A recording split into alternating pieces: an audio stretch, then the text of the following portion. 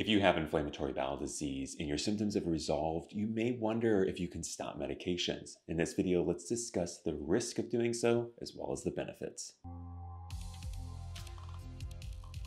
First, why do patients who have had success with these medications want to consider stopping them? Many people are concerned about the long term effects of these medications, but now that we have a couple decades of experience with their use, we know that they're generally quite safe even over the long term. That said, patients have different responses to the medications.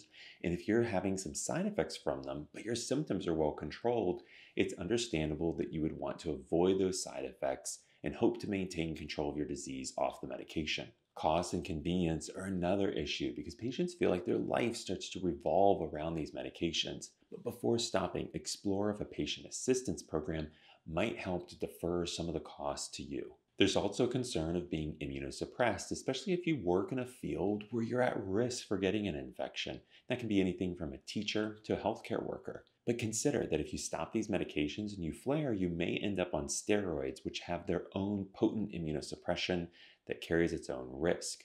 So, being well controlled on a stable regimen is often safer than risking being thrown back on steroids. Ultimately, it helps for you and your doctor to understand what you hope to achieve by stopping the medication so that you can make a thoughtful evaluation if it really makes sense for you to do so. Now, let's talk about what the risks are of stopping the medication. The main risk of stopping medication I've already named, and that is having a severe flare, which can mean that you get hospitalized or that you may even require surgery could also be that when you get a flare, attempts to recapture control of your disease isn't effective, even with medications that once worked.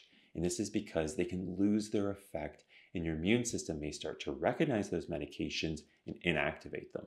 Thirdly, you can have smoldering chronic inflammation, maybe not quite enough to give you severe symptoms, but enough to increase the risk of cancer. Now, we can defer some of those risks by having routine colonoscopies. That's another important consideration for the long term effects of inflammatory bowel disease.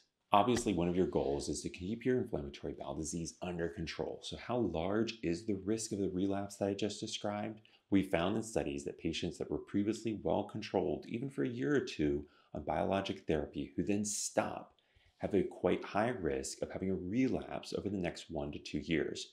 That's about a coin toss. Nearly 50% of patients can have relapse within two years after stopping biologic therapy. Is there any way to predict who will be at greater risk of one of these flares? We know that younger men and people with more aggressive disease are certainly at more risk of a flare. People with fistulas also seem to have a special risk for flare, and that's probably because those fistulas are acting as reservoirs of inflammation that lead to a recurrent disease. Also, if you're a patient who has general good control of their disease but maybe has an attack every year or two, those will likely continue even after you stop medications, and those flares can become very deep and persistent and lead to recurrent disease that is uncontrolled. On the other hand, are there any predictors of success? If you're a patient who's had a surgical resection of the diseased portion of your GI tract, then afterwards you are likely to enjoy a disease free period and that's a time that you can likely be off medications. If your disease has been medically managed and not required surgery, then ideally you're going to have at least a year symptom free without any flares. And it would be great if we can do a colonoscopy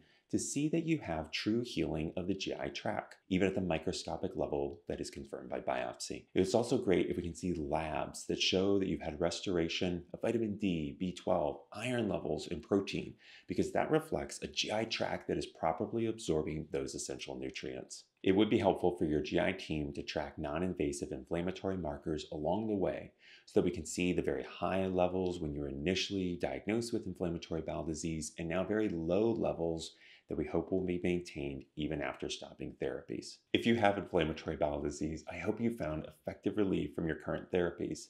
If you're at the point in treatment where you're starting to think about stopping therapies, hopefully this video has given you information to have an effective conversation with your GI team. Please subscribe to the channel for future information about inflammatory bowel disease. Thank you and be safe.